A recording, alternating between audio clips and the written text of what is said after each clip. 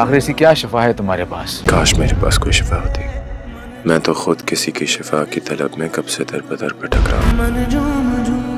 एक चांदनी की दीवार तोड़ना शायद एक प्यार से भरे दिल को तोड़ने से ज़्यादा मुश्किल होता है। हाँ।